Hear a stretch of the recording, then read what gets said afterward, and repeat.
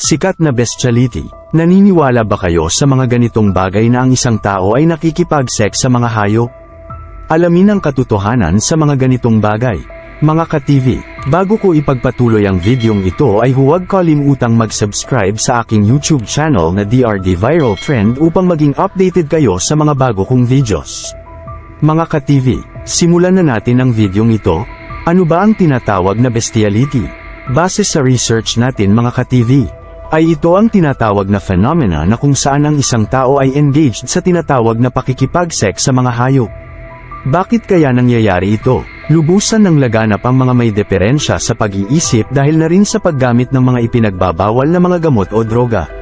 At nagkakaroon na rin ng mga sakit sa pag-iisip na kung saan nakakarinig ng mga bulong ang isang tao at hindi mapakali sa mga bagay-bagay. Nagkaroon ng mga taong ito ng sakit na tinatawag na schizophrenia. Dahil sa mga ganito ay nakakagawa sila ng mga bagay na labas sa kanilang mga iniisip.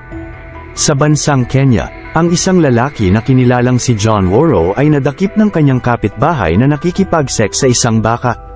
Ginawa daw ito ni John Worrow upang hindi siya magkaroon ng sakit na HIV. Sa San Antonio, Texas naman ay nadakip ang isang lalaki dahil sa pakikipag-sex nito sa aso. Dinakip ang lalaking ito at nakakulong na. Ngunit alam nyo ba mga ka-TV na mayroong bestiality dito sa ating bansa? Sa Pangasinan ay nadakip ang isang construction worker dahil sa pakikipagtalik sa walong buwang baboy. Parang nakikipag-sex daw siya sa isang tao sa mga pangyayaring ito. Hindi isinapubliko ang pangalan ng taong ito dahil na rin sa pagprotekta sa dignidad ng pamilya nito. Sa akla naman ay ginahasa ng isang lalaking lasing ang buntis na baboy. Ayon sa balita ay lasing daw ito nang mangyari ang ganitong pakikipagtalik niya sa baboy. Mga ilang beses daw niya ito ginagawa upang ma-fulfill daw niya ang mga contentment sa pakikipag-sex. Sa bandang Mindanao naman ay nakita ng mga saksi ang isang lalaki na nakikipag-sex sa isang baka na kung saan kitang-kita pa daw ng mga saksi na nasasarapan pa daw ito habang nakikipag-sex sa baka.